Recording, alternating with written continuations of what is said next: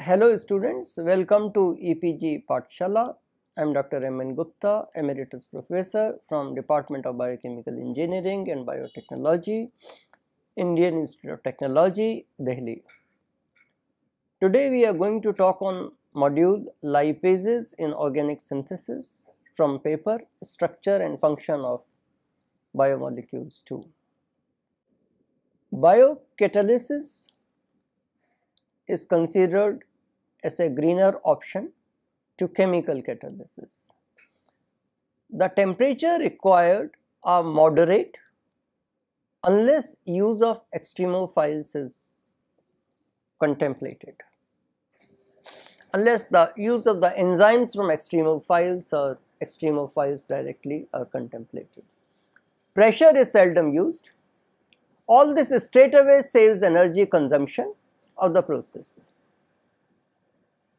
With the possibility of using non-aqueous media, lipases undoubtedly are the most frequently used class of enzymes in organic synthesis.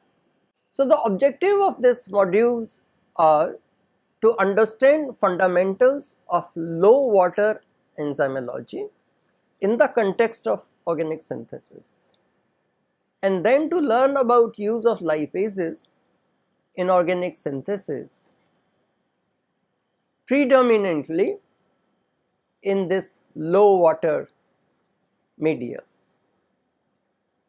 And to understand the use of lipases in kinetic resolution of racemates and to look at the various illustrations of the various applications of lipases in organic synthesis. So, the concept map consists of first of trying to learn a little bit of fundamentals of low water enzymology because that is not taught normally under enzymology. Then to look at how lipases are used in synthesis and then how lipases are used in the kinetic resolution of racemates and then give some illustrative examples. From the earlier modules, it is clear that lipases are the most versatile enzymes in terms of their specificity. This naturally is an advantage when we employ these enzymes for synthesis of organic compounds. Lipases are hydrolases. So, their use in organic synthesis has to employ low water conditions so that the competing hydrolytic reaction does not take place.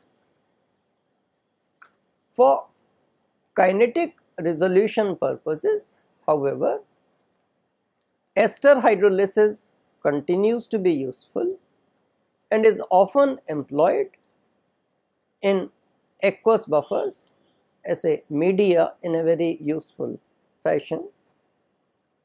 Also, we have uh, two phase media and even multi-phase systems which have been employed excuse me which includes aqueous media as one of the phases.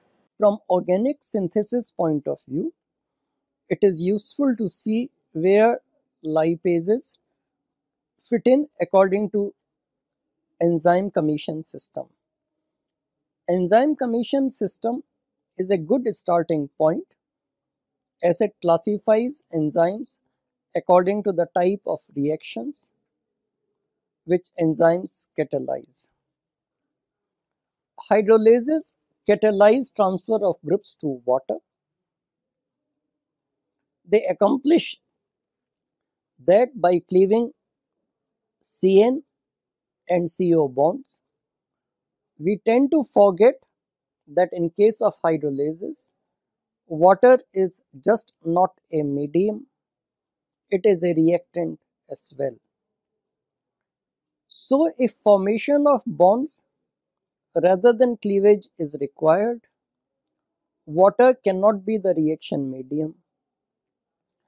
Luckily, enzymes, lipases more so, are able to function well in the absence of bulk water to be used as a reaction medium. We have already discussed the broad specificity of lipases towards both triglycerides and esters. Lipases like serine proteases also form an acyl enzyme intermediate. During hydrolysis, water acts as a nucleophilic acceptor of the acyl group. When water is not around in adequate amount, other nucleophilic acceptor can accept the acyl group. Mechanistically, that is the basis for using lipases in large number of reactions related to organic synthesis. For example, if a simple alcohol R double dash OH were to act as a nucleophile, the products will be R dash OH and RCOO R double dash as an ester. Thus, we will be able to produce the desired alcohols and esters in low water medium. In many cases, esters then can be hydrolyzed by switching over to the conventional aqueous media. This strategy is especially useful in resolving racemate esters. Lipases are used in both aqueous buffers as well as in non-aqueous media by organic chemists. In aqueous buffers, lipases produce fatty acids and glycerol. Both of these products, as we have seen, in turn have many biotechnological applications. There is one application of hydrolytic activity of lipases which is useful for organic synthesis that is the kinetic resolution of alcohols, acids and esters. In the case of first two classes of compounds, these have to be converted to corresponding esters. Given the stereoselectivity of lipases, one specific stereoisomer of the ester is hydrolyzed faster than the other stereoisomer as shown in the equation given in this slide. For example, if only S ester is hydrolyzed, R ester remains while acid and alcohol corresponding to S esters are obtained in chirally pure form. In reality, the stereospecificity of the lipase is not absolute. So it is more realistic to talk of a particular stereoisomeric form of the ester being preferentially hydrolyzed or that means hydrolyzed at the faster rate. Hence the term kinetic resolution of the racemic mixtures. Increasingly of course far more applications of lipases in organic synthesis are emerging by their use in non-aqueous media. Such media can be monophasic, biphasic or even multiphasic with one or more phases being a medium other than water or in fact the aqueous buffers. Monophasic non-aqueous media include organic solvents which contain about up to 5% volume by volume of water. Such media have been described variously as nearly anhydrous organic solvents, low water containing organic solvents or even sometime neat organic solvents. both water miscible and water immiscible organic solvents can be used. Room temperature ionic liquids in last decade or so have become another exciting option. Again both water immiscible ionic liquids and water miscible ionic liquids exist. Ionic liquids are also called designer solvents as a mix and match of an anion and cation is possible to obtain an ionic liquid of desired physiochemical properties. These ionic liquids have very high boiling point and are not volatile.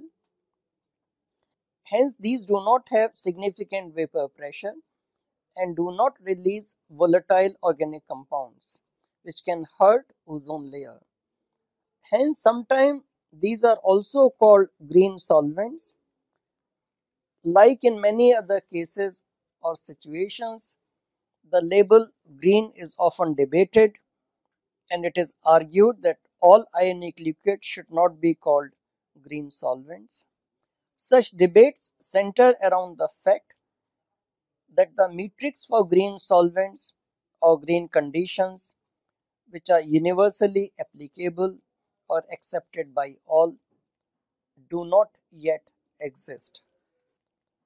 Nevertheless, green chemists prefer to treat some solvents as green solvents and use these as reaction medium. On the top of this list is what are described as solvent free media. In solvent free systems, one of the reactant itself is used as the solvent. Hence, actually there is no solvent in such cases. For example, as discussed elsewhere, biodiesel can be made by using lipases. In some cases, the oil itself acts as the reaction medium. Only in some cases where oil is quite viscous, for example, castor oil, there it is absolutely necessary to add an external solvent to dilute the viscosity of the oil. Supercritical fluids constitute another class of green solvents. A supercritical fluid is defined as the phase at pressures and temperatures above the critical point. The pressure however is below the value required to convert it into solid. One of the most frequently used supercritical fluid is supercritical carbon dioxide. It is chemically inert, non-toxic and non-inflammable. It has critical parameters which are compatible with enzyme catalysis. For example, its Tc is 31.3 degrees centigrade. Critical pressure is 72.9 bar. Other supercritical fluids are less compatible because while they may have low enough critical temperature, either they are inflammable or are much costlier or may have poor dissolving power for reactants. For example, sulfur hexafluoride which anyway has a high critical temperature of 45.5 degree centigrade. This slide is an illustrative list of some examples of lipase catalyzed reactions in supercritical carbon dioxide.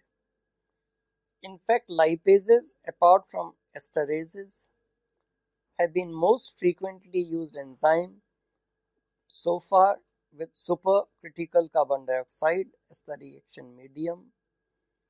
Again, as you can see, transesterification reactions have been carried out for valorization of oils and fats. One of the key parameter in enzyme catalysis in all such low water media is the presence of water. That may be present in a small amount, but that amount is still very critical. This is true of lipase catalysis in nearly anhydrous organic solvents, ionic liquids and supercritical carbon dioxide and other supercritical fluids. Earlier infrared studies and nuclear magnetic, resonance studies had revealed that at least some water molecules have to be bound to the enzyme molecule to impart it the necessary flexibility for catalysis. This amount of water has been found to be less than a monolayer. If even this much water is not available, some side chains of amino acids which are hydrogen bonded to water molecules start forming intramolecular, intermolecular bonds among themselves. This makes the enzyme molecule extremely rigid. It is this phenomenon which is responsible for the well-known observation which was reported many decades back that a lipase could be heated at 100 degrees centigrade when suspended in an organic solvent without any significant loss of its catalytic power. The best way to express the water necessary for optimum catalysis is a debatable issue. Peter Halling had pointed out that water activity denoted by AW rather than the concentration of water as molar concentrations or concentration of water in terms of percentage volume by volume or percentage weight by weight is a better description. At equilibrium, AW is same in all phases which are present in such reaction mixtures the insoluble enzyme, reaction medium itself and head space of the closed vessel. However, he himself pointed out that for water miscible organic solvents, even AW is not the ideal parameter. Halling's group has also suggested use of salt hydrates to maintain or control the constant AW during reactions. The need to control AW can be appreciated by realizing that an esterification reaction catalyzed by a lipase will continuously generate water molecules. As the concentration of water goes up, the reverse reaction, that is the hydrolysis of the ester will start. Any generation of water will also change the AW from the prefixed AW of optimum AW value. Catalysis in organic solvents also is dependent upon the properties of the organic solvents. In general, hydrophobic solvents are more suitable as lipases and other enzymes display higher initial rates in such solvents. This is because such solvents do not strip off water from the enzyme molecules. A parameter called log P, which is the partition coefficient between octanol and water of the organic solvents, is considered to correlate best with the solvent property and catalytic rates. Log P does not however correlate very well throughout the entire range of solvents Hydrophilic solvents like DMF and DMSO are called universal solvents by organic chemists as almost all organic compounds dissolve in such solvents. In general, like most of the enzymes, lipases show poor catalysis in such solvents as these snatch away this necessary water molecules from the enzymes. Challenges like these makes low water enzymology an active area of research.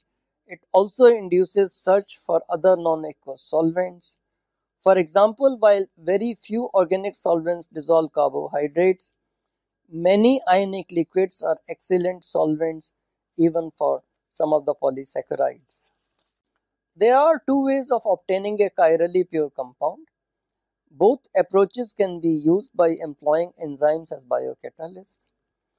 First is to carry out asymmetric synthesis. Second is to resolve the reaction mixture kinetically by exploiting stereoselectivity of enzymes as we have discussed earlier. The asymmetric synthesis can start with a prochiral substrate or a meso compound. Theoretically, in asymmetric synthesis, all the substrates can be converted into the desired enantiomer Thus, asymmetric synthesis can give yield of 100% and enantiomeric excess of 100%.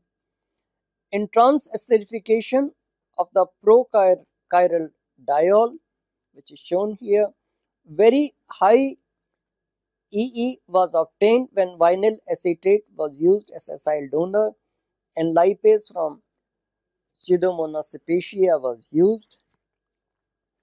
As an ester, Vinyl acetate acylates the enzymes to form acyl lipase intermediate. Hence, esters are called acyl donors in such transesterification reactions. A vari wide variety of acyl donors are used in lipase catalyzed reactions. The acylations with methyl and ethyl esters generally are slow due to the unfavorable equilibrium constants. The product alcohol that is the methyl alcohol or ethyl alcohol in above cases can be removed however to drive the reaction further. However, activated esters involve a better leaving group and show a more favorable equilibrium. Oxime esters, thioesters and even anhydrides have been used with their respective merits and demerits. Enol Esters such as vinyl esters are frequently employed. As a product, vinyl alcohol tautomerizes to acetaldehyde, which drives the reaction further. With some lipases, however, acetaldehyde so produced results in enzyme inactivation. Such lipases have essential free amino groups for their activity and are modified by acetaldehyde the nucleophiles attacking the acyl lipase complex decide the nature of the reaction. Water, alcohol and amine lead to hydrolysis, transesterification and amide formation respectively. In general, polar solvents when used as a reaction media have resulted in higher enantioselectivity. selectivity. A racemate may be obtained enzymatically or via chemical catalysis. With one enantiomer in the racemic mixture reacting faster, the kinetic resolution can yield a chirally pure compound. The racemic secondary carboxylic ester could be kinetically resolved via hydrolysis. The ratio of specificity constants of the enzymes for the two enantiomers is a more important parameter in a kinetic resolution experiment. Denoted by capital E, an E value of 1 represents a reaction where no initial selectivity was obtained. In actual practice, E larger than 20 is considered a fairly selective reaction. E more than 100 is considered a highly enantioselective reaction. In kinetic resolution, the maximum yield of desired enantiomer is 50%. Also the percentage EE varies with time and percentage conversion. Enzymes show enantiopreferences preferences in organic solvents as well. The slide shown now is purely of an illustrative nature and is shown here to emphasize that the nature of the organic solvent can influence the chemoselectivity of the lipases as well. Porcine pancreatic lipases gave different ratio of O acetylated and N acetylated products during trans-esterification of N-alpha benzoyl L-lysinol with trifluoroethyl butyrate as shown here. The regioselectivity of lipases may or may not be affected by choice of the solvent for the reaction medium. Butanolysis of an ester by different lipases showed either same or fairly different regioselectivity in toluene and acetonitrile. Many ideas have been advanced to explain dependence of enzyme selectivity on the reaction medium direct binding of the organic solvent molecules in the binding site, modifying enzyme conformation, or changes in the energetics of solvation have been mentioned as the reason for the observed behavior. The regioselectivity of lipases may or may not be affected by choice of the solvent for the reaction medium. Butanolysis of an ester by different lipases showed either same or fairly different regioselectivity in toluene and acetonitrile. Many ideas have been advanced to explain dependence of enzyme selectivity on the reaction medium, direct binding of the organic solvent molecules in the binding site, modifying enzyme conformation, or changes in the energetics of solvation have been mentioned as the reason for the observed behavior the changes in the enantioselectivity with different substrates even in the same solvent which is shown here. It shows the complex interrelationships between enzyme enantioselectivity and the solvents. Since ancient times, flavors and fragrances isolated from natural sources have been used in food and perfume and as perfume. The first synthetic compounds to be used for such purposes were coumarin and vanillin. In 2008, the market of these was estimated as 20.3 million US dollars. The application domains now include food, beverages, cosmetics, detergents, and pharmaceuticals. With the renewed appeal of natural compounds, the market for such compounds which are now prepared synthetically is growing at an enormous rate. Increasing concern for environments and energy consumptions favor the biocatalytic catalytic routes for the synthesis of flavors and fragrances as well. In many cases, lipases are used alone or in concert with other chemical or biochemical catalysts. Fatty acids can be obtained by hydrolysis of fats and glycerols by lipases. The gamma and delta lactones derived from fatty acids form important example of useful compounds.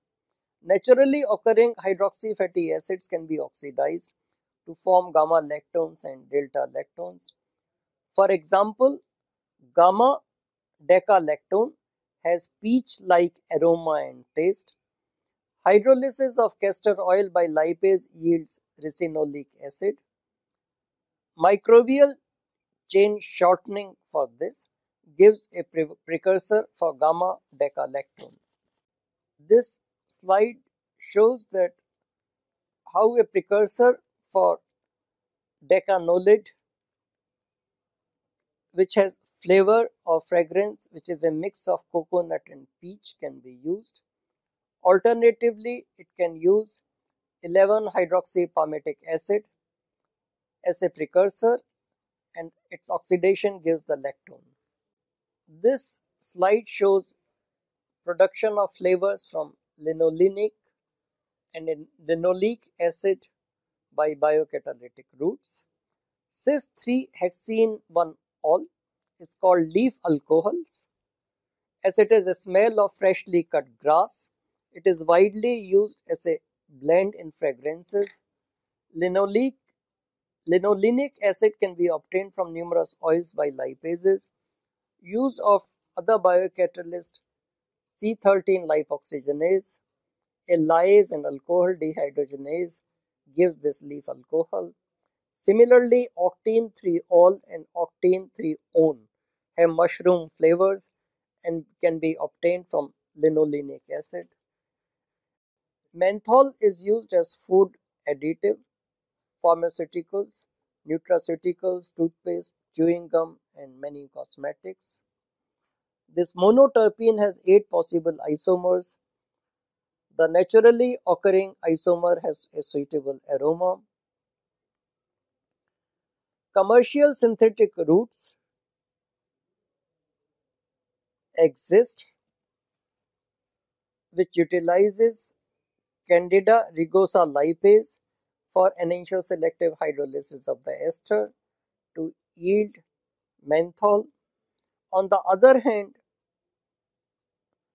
another commercial process starts with all possible 8 isomers and uses enantio and diastereoselective acylation to obtain menthyl acetate with an enantiomeric excess of 96.3%. The hydrolysis of the distilled ester yielded the desired isomer of the menthanol.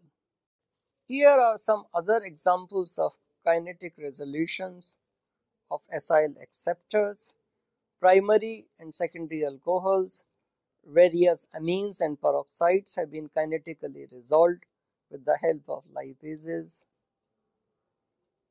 The nucleophilicity of thiols is low as compared to amines and alcohols for them to be used as acyl acceptors.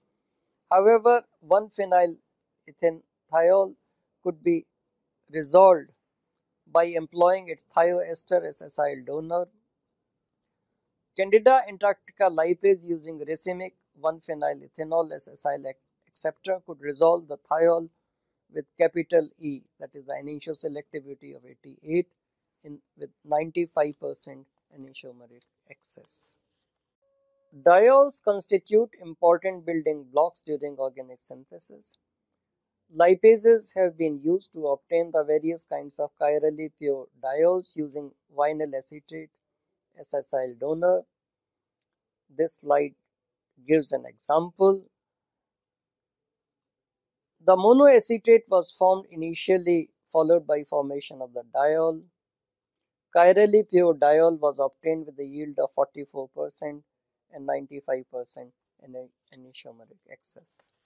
So in this module we learnt about fundamentals of low water enzymology with lipases as focus. We also learnt about asymmetric synthesis that is how the lipases in particular can be directly used for synthesizing chirally pure organic, com organic compounds and chemical intermediates, drug intermediates. We also learnt about how lipases could be used to kinetically resolve when such compounds are present as a racemic mixture. Illustrative examples of the use of lipases in both synthesis and kinetic resolution were also discussed. The use of biocatalysis in organic synthesis is increasing and slowly is being adopted even at the industrial level. While requirement of using an organic solvent was important in view of their non-acceptability by environmentalists. use of the green solvents is making low water enzymology a more acceptable approach by green chemists. At the same time, the possibility of using different reaction medium, it's a discipline, sub-discipline itself called medium engineering. And this change in the reaction medium can be used to alter enzyme in an enantioselectivity and that's a very powerful tool.